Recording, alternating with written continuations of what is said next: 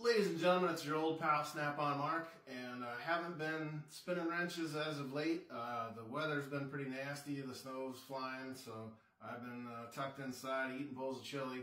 Um, not that I allow the seasons to dictate what I eat. Uh, you can probably tell by looking at me that I manage to eat year round.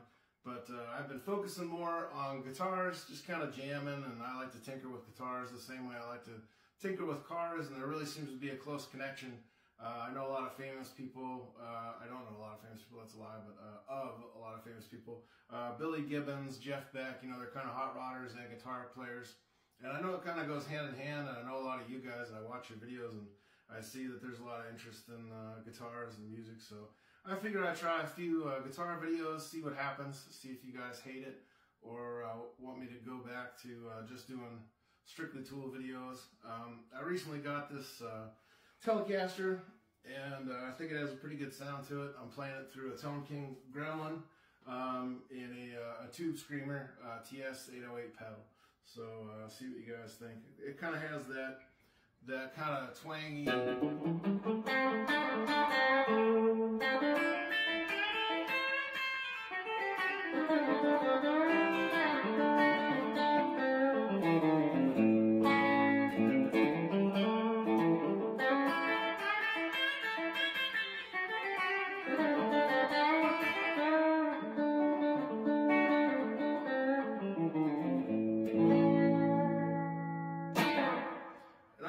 It I think it has a pretty decent sound. I really like the Tone King amp.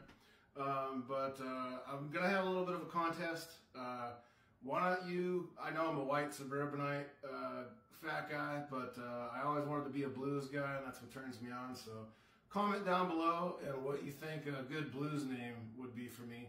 Try to keep it a little bit civil. Um, you know, I not like you know uh, I can understand the the fat mark sort of stuff, but uh, you know maybe keep it out of the realm of like you know clinically depressed mark or that sort of thing. So I uh, hope you guys uh, enjoyed the jam a little bit, and I kind of wanted to make some more talking about guitars and amps and stuff. So let me know if that'd be something you guys are interested in.